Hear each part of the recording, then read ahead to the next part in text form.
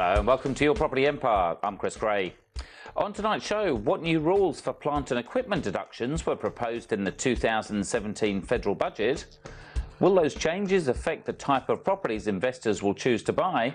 And does tax depreciation change much depending on whether you invest in residential or commercial property? Well, joining me tonight to comment on our stories is Brad Beer from BMT Tax Depreciation. Welcome to the show, Brad.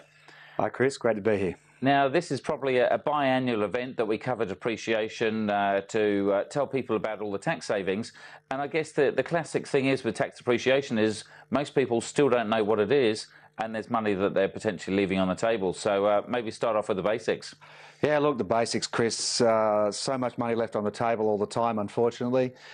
Depreciation is things getting older and wearing out, and the tax office allows us in you know investment properties to make a deduction for that wear and tear. It's very similar to uh, your car or something you use for business purposes that depreciates in value. You get to claim that, and the same thing happens when you use a property for for uh, for income producing purposes. The the carpet wears out, the building wears out, uh, and you get to claim the deduction based on that. And unfortunately, you know, two thirds of people seem to not do this properly and not maximise the deduction properly. So we effectively help them to do that.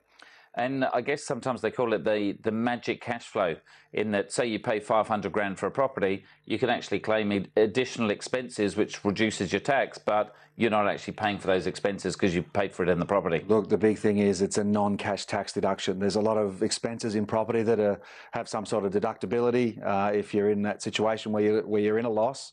But this one is one that you don't pay out. You get to claim this deduction just because building's getting older, the building's wearing out, and the tax office says we allow you to claim deduction for that wear and tear and uh, you don't have to pay it out. So it makes a big difference. It's really good. And uh, I, I, guess the trick is, is if you never sell the property, you almost never have to pay the depreciation back. But uh, if you bought a 500 grand property and depreciated it by 50 grand to 450, ultimately when you do sell it for say a million dollars, then uh, your cost base is 450 rather than the 500. Yeah, look, there is a, a, a reduction in the cost base uh, where some of that depreciation you do claim, then you do pay some additional capital gains tax in the future if you sell the property. I still, uh, the, the capital gains tax is paid at half your marginal rate, and you make these deductions on the way through at your full marginal rate. So we've run the case studies in the past, and you actually end up with more money in your pocket today on the way through at today's value that you can use for something than what you're paying capital gains tax in the end most of the time. So uh, all looks like positive, but no doubt the government will change it, and we'll talk about that in a few minutes. But probably, uh, I guess the next question is probably what are the most common items that can be depreciated, especially when I guess most of our viewers are probably more into the residential property. Look, the, uh, the, the simple things are the carpets, hot water services, stoves, blinds, curtains, uh, the things that don't last a long time. The tax office says you get to claim them over how long they expect they're expected to last. And the other big uh, the other big claim is really that structure of the building, providing it's built after 1987, you get to claim this deduction against the structure of the building, which is a portion of the construction cost each year. And so, what are the assets that uh, investors kind of tend to overlook? Look, I think there's a there's a lot of assets. The tax office puts out a list of these assets that you get to claim within the property, and you know some of the simple things that people don't think, like the garbage bins, the mechanical door closers, and things that are a bit more obscure than the simple you know, carpets, blinds, curtains, but people can see. Um, the important thing is go through and make sure you get all of those things claimed, uh, and also some of that building. If there's been some renovations, you want to make sure that you pick all those things up and all those uh, claims are made. Now, talking about door closers and things like that, I mean, to me, it just it sits straight away. Look, don't try and do it yourself. There's there's probably no way you can do it. Some people reckon their accountants can do it, but it's a pretty specialised uh, topic, isn't it? Well, there's sort of two parts of that where, uh, firstly, the tax office will accept the estimates uh, done by a quantity surveyor because traditionally what we do as quantity surveyors is estimate construction cost of buildings. So the claims relate to this cost, but on top of that, knowing all of the rules, knowing all the things to claim, and making sure, look, we do a full site inspection of the property, we go through it, we find everything that can be claimed, and make sure it's all claimed at the maximum we can get for it. Now, there were some new rules for plant and equipment deductions that were proposed in the 2017 uh, recent federal budget. Can you tell us a bit, a bit more about those changes and maybe recent draft legislation that's been released? Look, the, the, the government's sort of taken a. a um, uh, I was at the budget night and and uh, part way through, I was thrilling, and then I nearly choked on my steak as uh, uh, as they as they announced some changes to plant equipment and depreciation, which are, were totally unexpected. Uh, and what they've actually done is said that you know that that structure of the building will leave alone and do nothing with, but they're saying now that second-hand properties or second-hand plant and equipment there will be no deduction for, uh, and what that means is that sometimes a six month old stove, a 12 month old stove, if you're the second purchaser of that, of that stove, rather than continuing to depreciate, which would be normal, they're saying that when, they're not going to allow deductions on that stove. Now, the legislation has just come out in draft and uh, is uh, uh, out for consultation with uh, people, so we'll put some papers in on that, as will a lot of other people, I'm sure, uh, to to, to make a suggestion as to uh, a normal way to do this, I suppose. They're calling it an integrity measure where they're, they're, concerned that investors are double dipping and reclaiming things that have been claimed in the past. And there seems to be a bit of concentration on their thinking that people are taking their their fridge from home and sticking their investment property and then claiming it, which I don't see as being a highly regular thing that happens. But um, how to deal with that integrity issue and make sure that it's done properly, I think there's some simple ways that it can be done, and that's what we'll that's what we'll put together.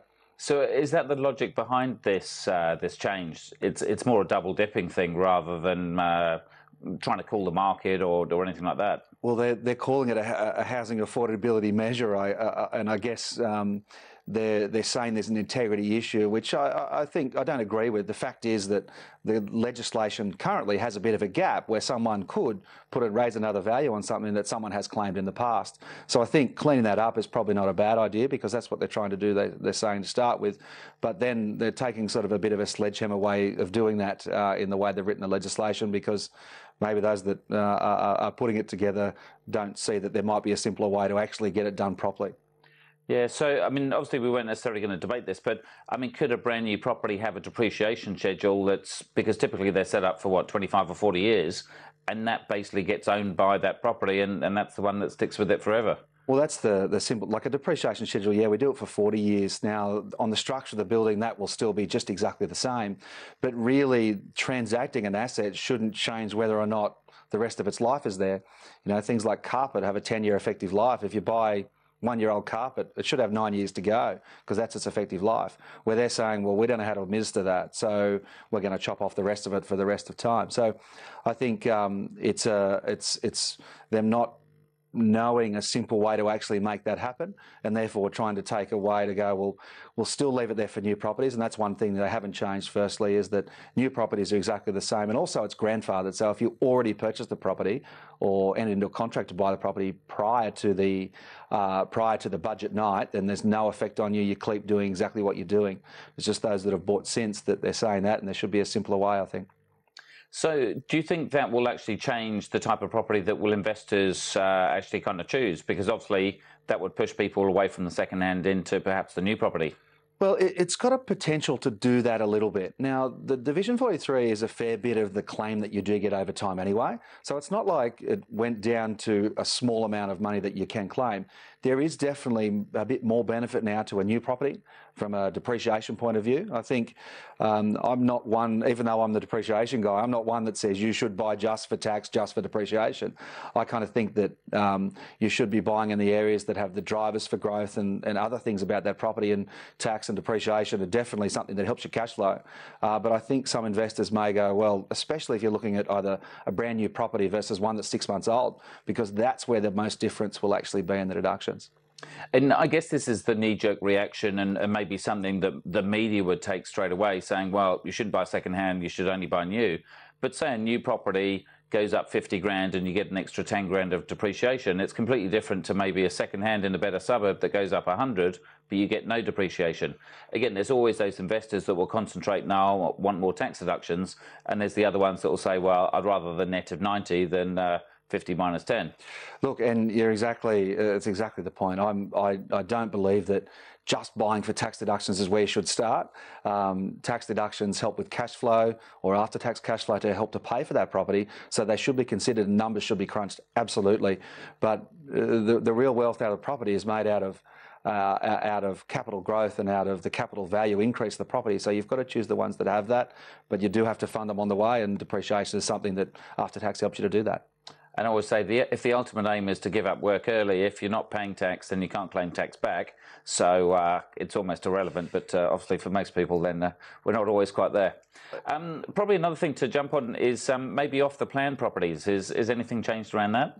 You look off the plan or brand new properties, no changes. So um, and that's kind of what we're saying there. If you've bought it, if you've made a decision to buy it prior to or after, if it's off the plan, it's brand new. Even if you buy it new and it hasn't been used, um, they they in the in the draft they talk a lot about things that have been used in the past. So if the developer rented out for a while, then it'll be second hand and no no depreciation on those plant equipment items. Uh, but off the plan, all brand new in whichever way, yeah, um, uh, no change. Now, you mentioned this was proposals. So, when does this actually kind of take place, or indeed will it actually take place? Could it, could there be no change in the end? Well, look, uh, what's happened at the moment is it's out for consultation, and, and people will put papers in, and then it actually has to go back through, get approved, then to the Senate, be voted on, uh, and the end result of that could be nothing. It could be voted down and nothing, no change. Um, so it is actually effective from anyone who's uh, exchange contracts from budget night and applies to anyone from the 1st of July, basically, for these claims.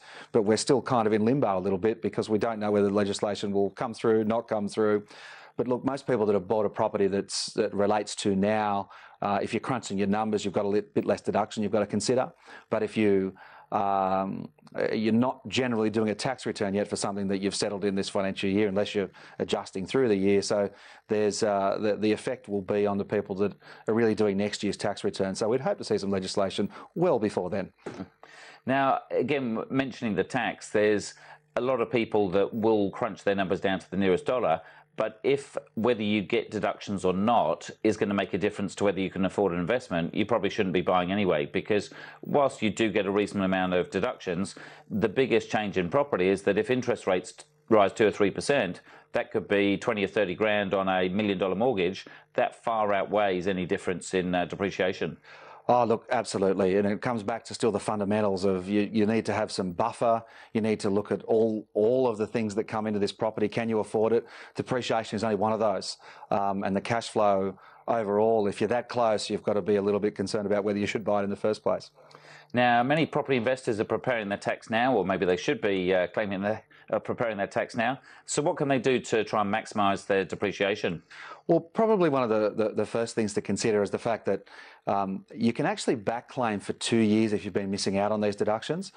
I guess the important thing is before you do another tax return, uh, make sure you get it sorted and get those previous two years before you do another one and potentially miss out on that. With so many people actually missing out, the important thing is really get it done properly, speak to the accountant about what you're claiming.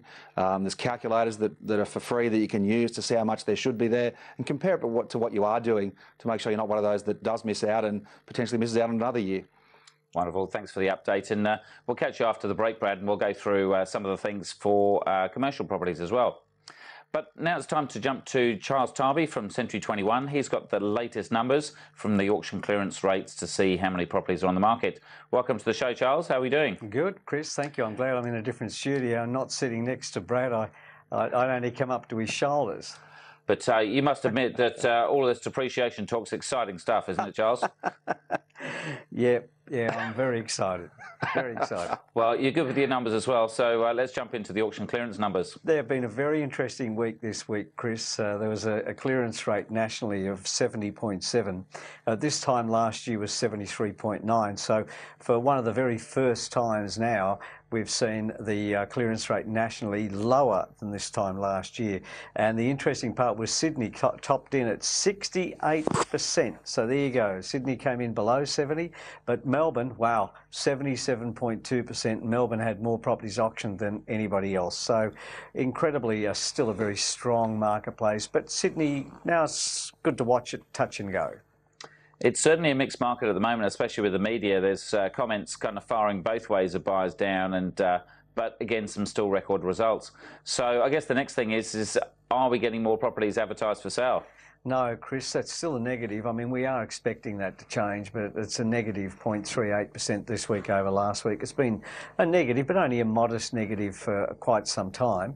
Uh, there is more stock on the marketplace now than we're looking at this time last year. That is a, that is a big difference, but it's just been negative on week on week for some time. Well, I guess people are getting ready. Uh, why wait for spring when you look at the weather that we've had in most capital cities of late? So I think I think spring has already sprung.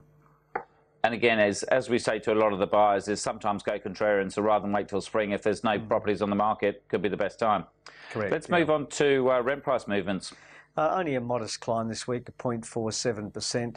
Uh, the uh, good one this week was the one that's been going negative for a couple of weeks, and that's been Hobart. It actually had a plus 0.55% increase because it was heading south a little bit there for a while, looking maybe a little bit of a correction. Uh, Melbourne had a, a negative 0.39%. Uh, so there's a positive and negative, two places not too far away from each other, but overall it's still a pretty steady marketplace when it comes to uh, rent prices. Wonderful. We always need the cash flow to pay the mortgage. And finally, the vacancy rates. Well, Melbourne continued to be the leader. It, it, has been for quite a number of weeks. It's a vacancy rate of 1.15, which is incredibly slow. It did get down to 0.92% at one stage, but that, you know, 1.15 is, is really, really a, a low vacancy rate. Sydney came in at 1.49%, which isn't too bad at all when you look at that. But Perth, the interesting one that we've been watching for a while, has been hovering back downwards again, which is great, 8.19%. I can see a, a great correction happening in Perth. It certainly is happening with the prices of properties and the sales are starting to be transacted again. It seems to me like Perth has, has hit the bottom in many parts and starting to climb back up. But that average uh, vacancy rate over these those three capital cities was 3.61%. Wonderful. As always, Charles, you've got an amazing memory for numbers. Thanks for joining us, and we'll see you again next week. Thank you very much, Chris. Now, join us after the break as we'll give you some more ideas on saving some tax and getting some more depreciation. Join us after the break.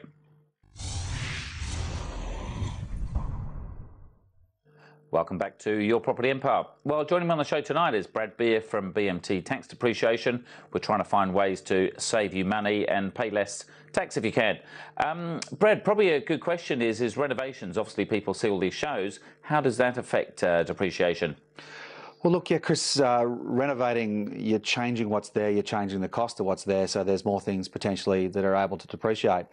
But even before you do that, uh, the things that you throw away potentially have some value. We uh, we sort of uh, penned the term scrapping, even though it's not the tax office term. Uh, a simple uh, a simple thing is when you throw things away, they potentially have some value left. You get to claim whatever value is left on those things when you throw them away. The important thing is making sure you've actually had the place looked at first. So there's a value attached to those things, and you depreciate them away until you get to that point where you do throw them away add the new things in, you get to claim the new things under that, depreciate those new things. Another important thing to consider there with the budget changes is that anything that you do buy yourself and add to that property does get to depreciate. So if you buy something uh, old, even after budget time, uh, you add new things to it. All these things get uh, added to your depreciation schedule, and you can claim for those things, which is kind of nice.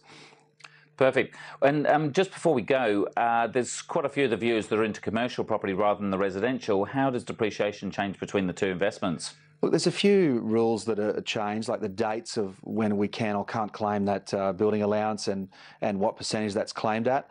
Some of the items get claimed a bit differently. You know, carpet doesn't last as long, so you get to write it off a bit quicker.